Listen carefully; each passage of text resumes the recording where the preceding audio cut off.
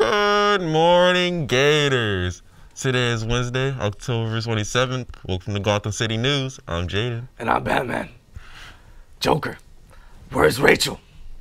Where's Rachel? Why so serious, Batman?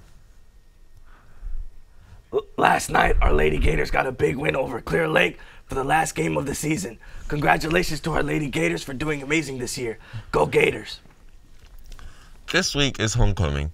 It is also National Red Ribbon Week. Every student will have the opportunity to sign a pledge to be drug free and wear a red ribbon.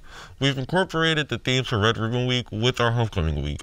The themes for each day were Tuesday, Team Up Against Drugs, today, Lay Off Drugs, Thursday is Throw Out Drugs, Throwback Thursday, and Friday is Gators Forever.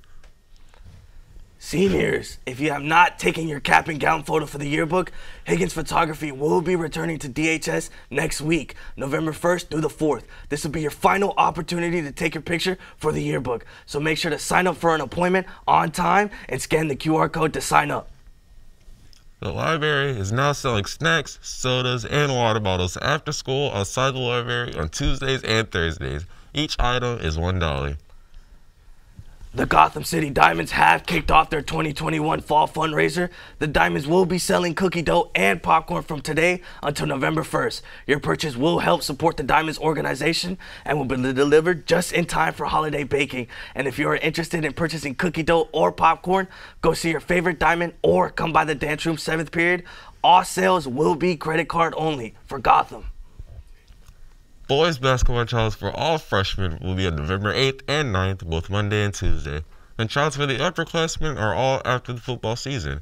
You must have a current physical on file with our athletic trainer before you try out. And make sure to follow us on Facebook, Instagram, and YouTube at Gator Nation Media and on Twitter at Gator Nation Live for the latest news and live updates. And if you're a staff member with interesting stories or information you want included onto our show, be sure to send them to our email at gnmedia at dickinsonisd.org. Well, that's all the news we have for you today. We'll see you tomorrow on Gotham City News. And now for the fun fact of the day. Here's the fun fact of the day. The Headless Horseman originated from Irish legends known as the Dullahan. He is a humanoid being sitting upon a horse with his head held high in his hand so that he may scan his surroundings.